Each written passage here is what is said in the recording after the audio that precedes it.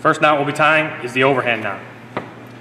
The overhand knot is tied in webbing to safety another rope. In order to do that, I'm going to create a pistol with one hand, and I'm going to wrap the webbing over top my hand from back to front. On the back side, I'm going to cross over to create an X.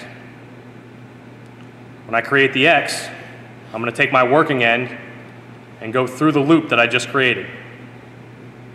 I'm going to pinch to keep that loop open. I'm going to grab the opposite working end. I will go end to end to route it through that loop. Now I can dress and load the knot. In order to dress and load the knot, I need to make sure the knot stays flat, pinching that other rope.